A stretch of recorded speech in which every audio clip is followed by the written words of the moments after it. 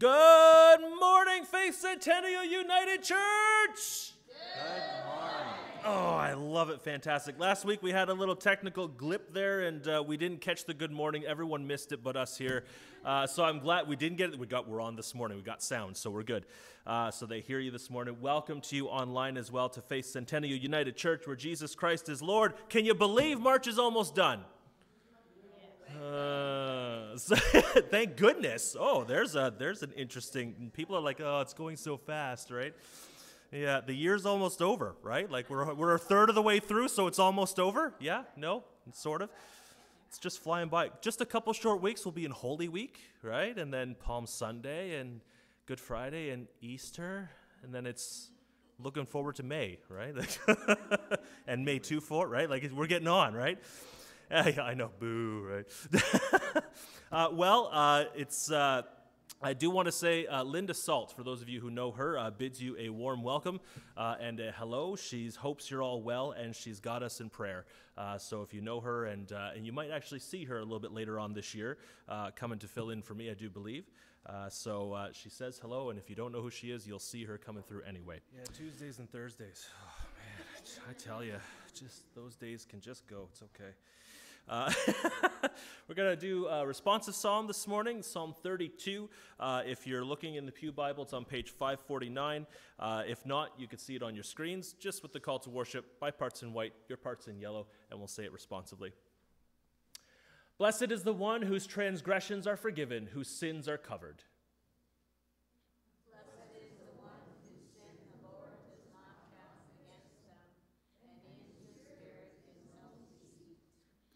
When I kept silent, my bones wasted away through my groaning all day long.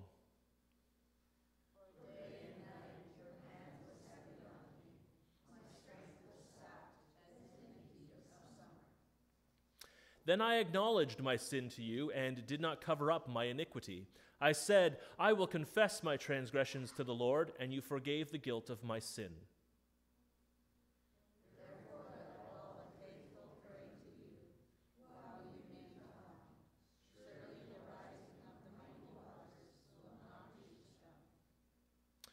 You are my hiding place. You will protect me from trouble and surround me with songs of deliverance. I will construct you and teach you in the you shall go. I will pass you with my loving eye on you. Do not be like the horse or the mule, which have no understanding, but must be controlled by bit and bridle, or they will not come to you.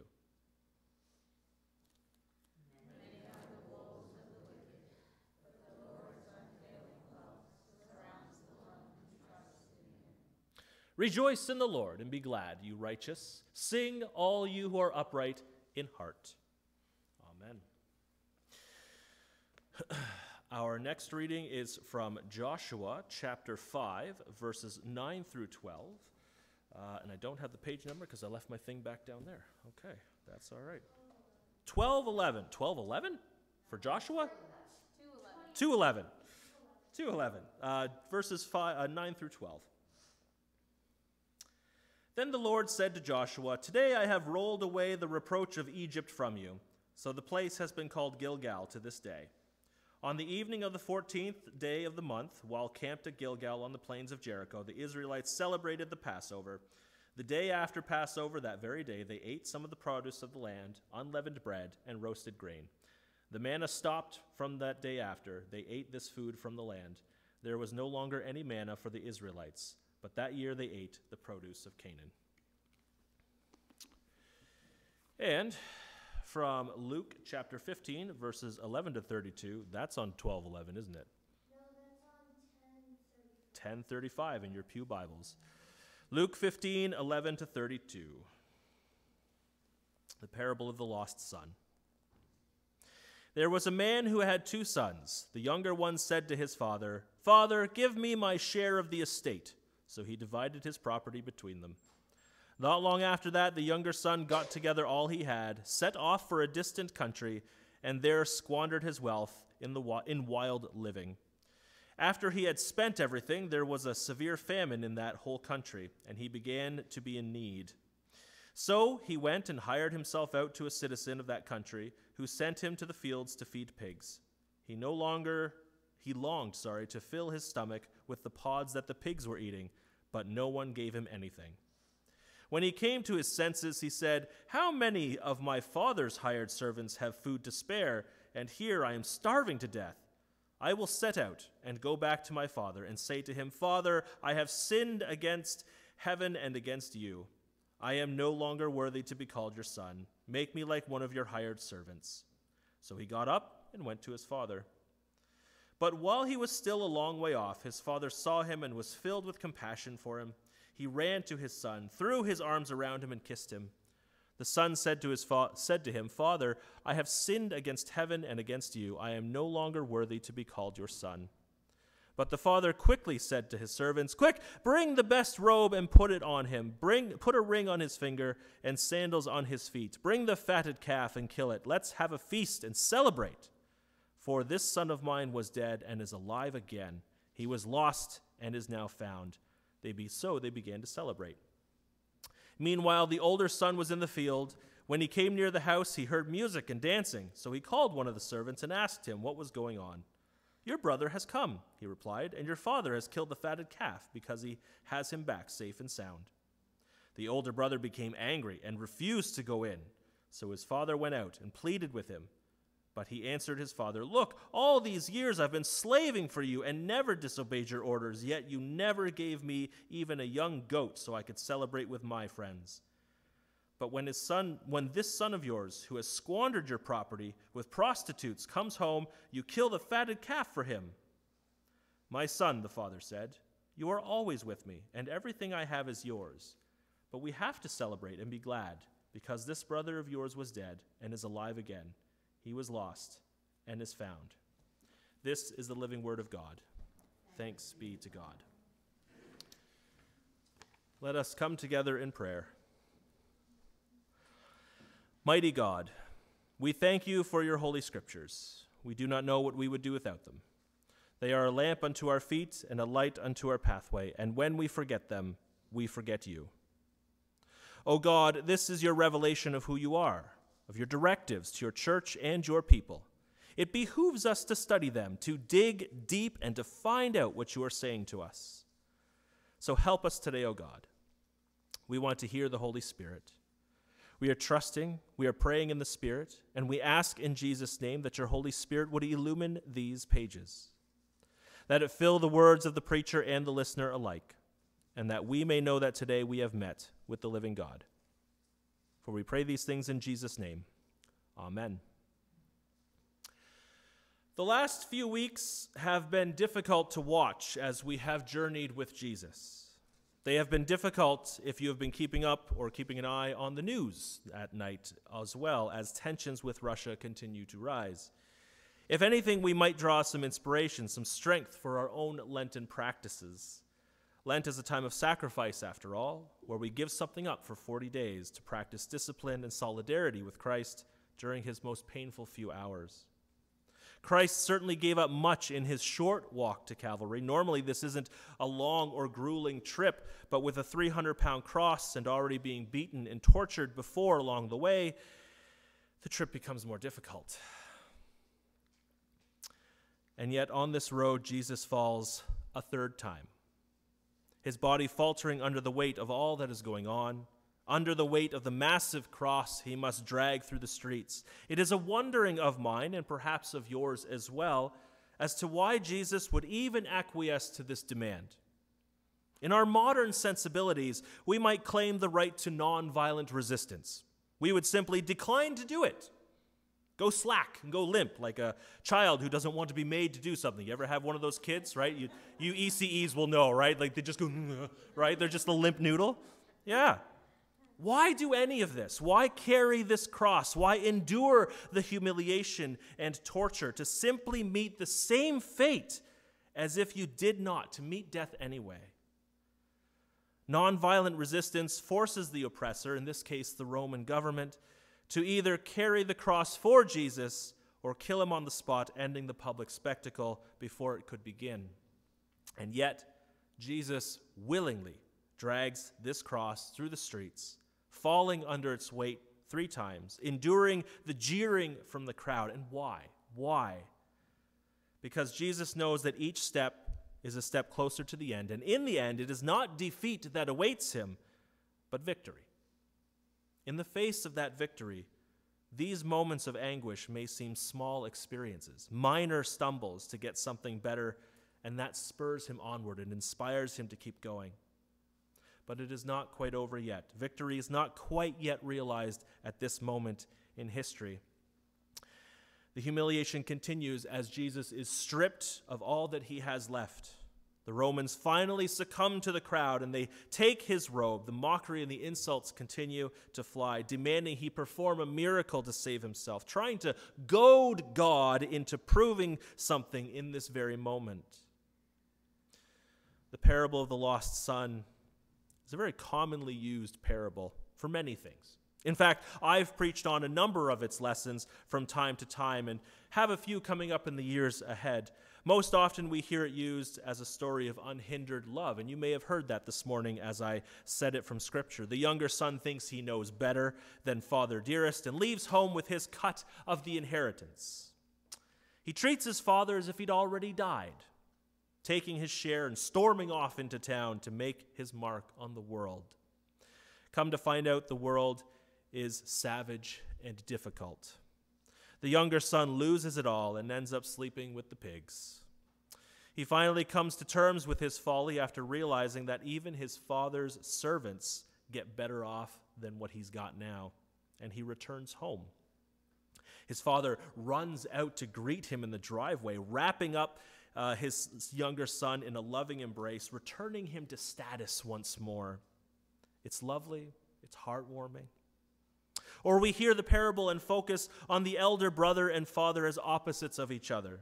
Here, the father is compared to God, ready and waiting to welcome home the wayward lost sheep. But our friends, our family, and even our sometimes our church family, even uh, come off as the elder brother, judgmental and harsh. The elder brother sees the transgression of his kin and pronounces judgment upon him, condemning him entirely. The unforgiveness welling up in the elder brother's heart is a cautionary tale for us, not to become so jaded that we lose the ability to see God's holiest of works right in front of us. Today, however, this beloved parable becomes an illustration of a different nature. During and throughout the year, we humans, we will ebb and flow in terms of our faith. It's true. Some days we have plenty, and others we feel defeated. Some days we charge ahead thinking that we are ready, with, with or without God. And some days we fall behind. On this particular day in the life of our parable characters, the younger son is feeling all charged up. He's had enough of living under his father's rule. He feels he could do a better job of it. And he just needs this break, and he's tired of waiting for it. I'm sure at least one of you here have had a day like that. I'll be the first to admit it. Been there, okay. You're waiting on this prayer to be answered, right? Or you're waiting for wisdom. You've discerned, you've got this great plan, and you just want to go, right? Impatience, we might label that. But it's a little bit more than that. We also think that we know better, that we don't need to wait for anyone else's blessing on this. So we start up that business, we quit our job, we invest our money, or we spend it in some other way. We charge ahead without God. And we slowly wind our way down the path. We take our inheritance and we go. And just like the younger son, we go and we go too far. And boy, do we find ourselves in a heap of trouble when we get to the end, don't we? Our passage from Joshua is just the opposite, however. The children of Israel are obediently following God. They go where He tells them, camp where He tells them, cross where He tells them. But it wasn't always so. They only got to this point of waiting on direction from God by first being the younger son from the parable. The children of Israel, under the direction of Moses, after being freed from Pharaoh, begin grumbling and griping against Moses and God. They begin to suggest that they would have a better off in Egypt, doing things their own way, which is to say that they wanted to still be enslaved. They begin to complain and moan about their conditions thinking that if they had just simply parted ways with Moses and God, they'd have been better off. They land themselves in a heap of trouble. Thinking that they'll do it their own way, they find themselves wandering the desert for a generation because of it. This is often the price we pay for being a younger son, for thinking that we can have it better or that we know better than God or our elders. We wind up in a cold city, the harshness of the world around us. We wind up losing everything to the God of this world, to Satan, just as the younger son did. We get swindled. And we can find ourselves in a sort of spiritual situation like this as well. It doesn't have to be material, as the parable makes it out to be. We can make a decision in a relationship. We can take on a new task at church. There's something new, right? We can take on something like that going on, right? And after weeks and months, we find ourselves joyless, bereft of success. There's no movement in the situation, no movement on the tasks we were wanting. It's like pushing a boulder uphill. Been there. I've taken on tasks at church before. After weeks of hard work, job doesn't pay off, right? People don't support it, no turnout. Materials get used up, something falls through, it happens. Maybe a spiritual practice gets railroaded, that's related to Lent. If you're struggling with a younger son situation out there, then this parable is for you today. Lent is your time to return to your roots. Lent gets touted at this, as this time of great sacrifice, right? To, to walk in the same shoes as Jesus. In fact, this sermon series began that way as we examine each of the stations of the cross each week. We get a fuller picture of that road that Jesus walked on his way to his death. That resonates with us, reminding us of the suffering our Savior went through and causes us to have this deep contemplation on what that means to us. So Lent becomes synonymous with sacrifice. People give up chocolate, they give up internet, or some kind of vice that they have on their lives. Admirable and certainly appropriate for sure. But I want to advocate a secondary course for those of us who maybe are going through a younger son moment in our lives. Perhaps, perhaps, Lent for you can become a moment where you give up being the younger son. Give up this path that you're on that you think you know better. That you want to take your inheritance and run off into the world. And instead, use this Lenten time to return home, to return to your Father, return to God. I invite you to follow the younger son's example still. When he sleeps with the pigs, he takes a long, hard look at his life. And he realizes that he's gone a little too far off the path. This really wasn't what he was intending to do. And he's hurt people to get here, including himself.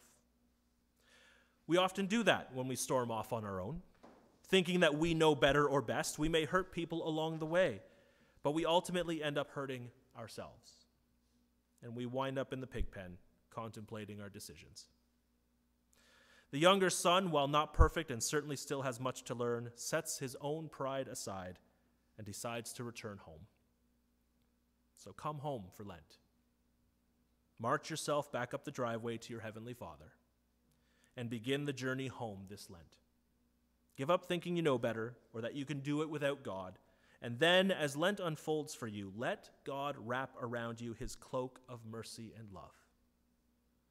Let him slip on the ring of forgiveness back on your finger and prepare you a feast, because as the younger son is restored, so Lent can restore you. Lent can be your moment of turning around and saying to God, I've been wrong. I'm sorry. Amen. You are all ambassadors for Christ, God making his appeal through you. Let all you do be done in love. Amen.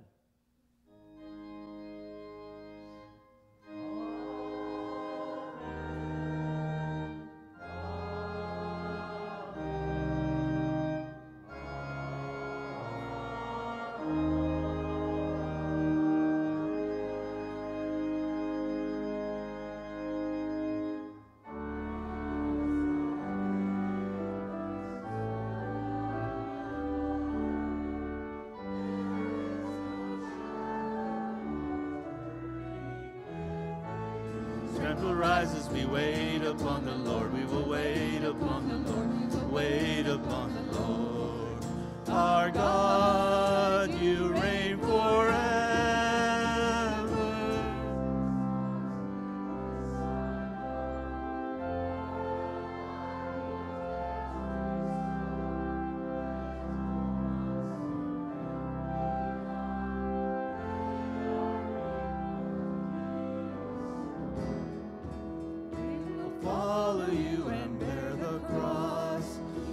To purchase us at such a cost. And all the world adores and countless loss.